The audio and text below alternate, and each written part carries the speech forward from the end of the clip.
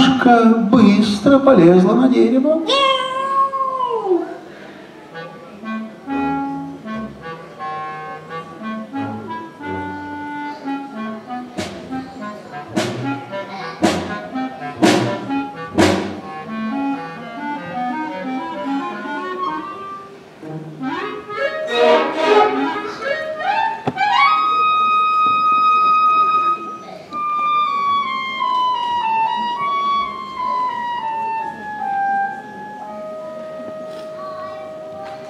Утка закрякала и бросилась вон из лужи.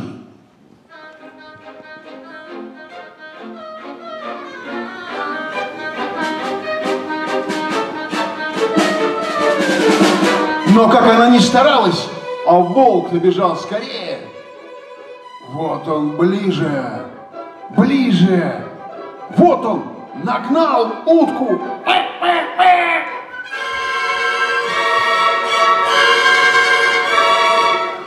Схватил и проглотил.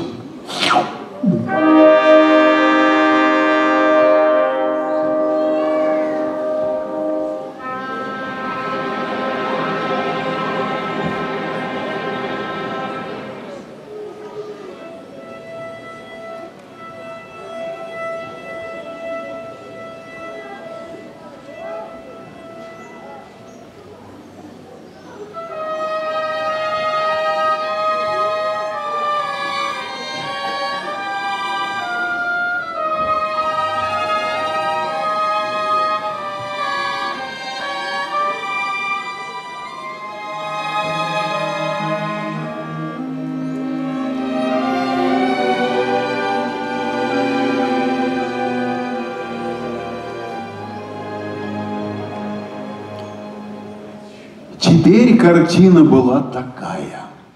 Кошка сидела на одной ветке дерева.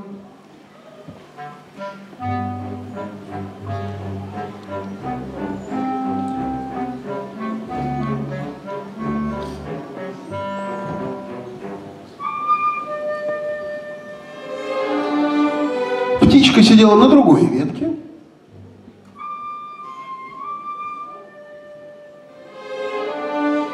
Подальше, подальше, подальше от кошки.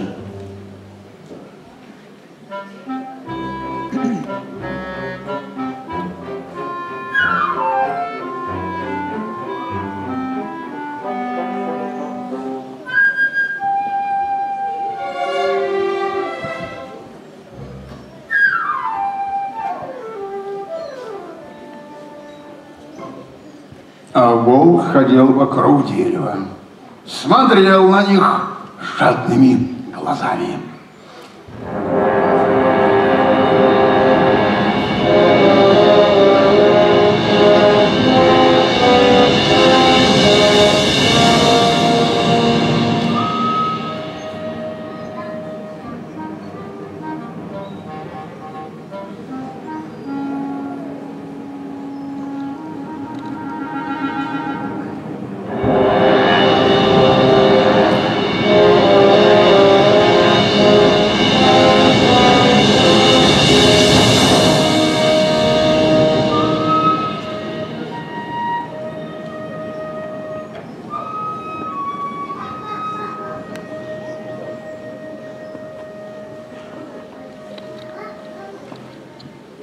Между тем, пионер Петя, который остался стоять за запертой калиткой и видел все происходящее, нисколько не испугался.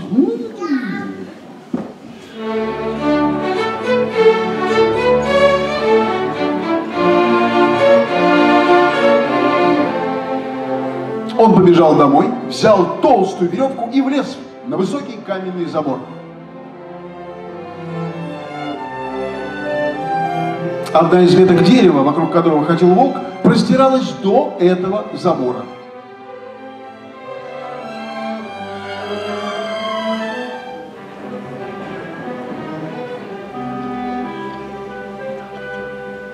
И, ухватившись за нее,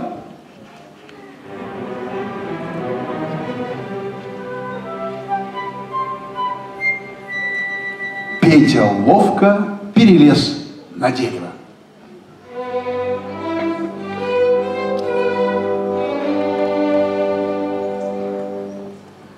Петя сказал птичке, лети вниз, кружись вокруг морды волка, ну только осторожней, прошу тебя, чтобы он тебя не сцапал.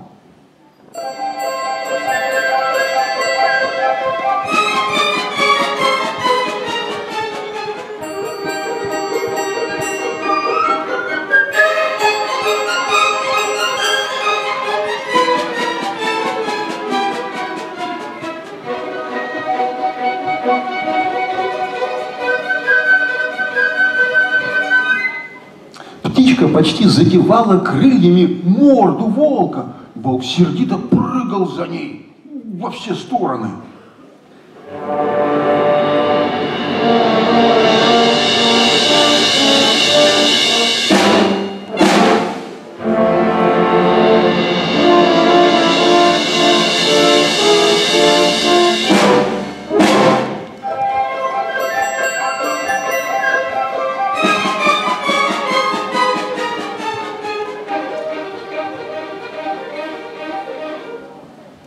Ах, как птичка раздражала волка, как он хотел ее схватить, но птичка была ловкая, и волк ничего не мог с ней поделать.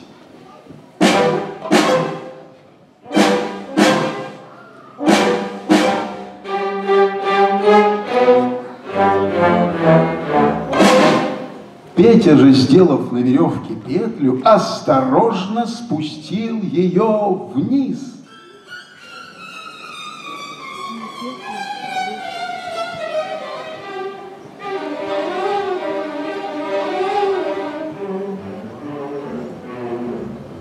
Накинул на хвост волку и затянул.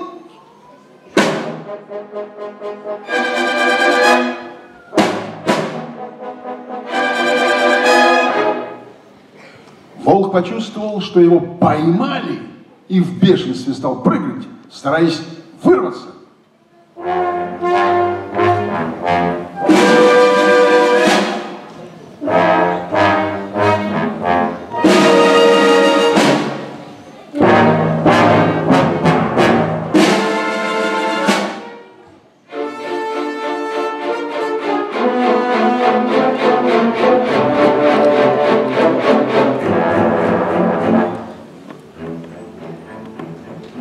Но Петя привязал другой конец веревки к дереву.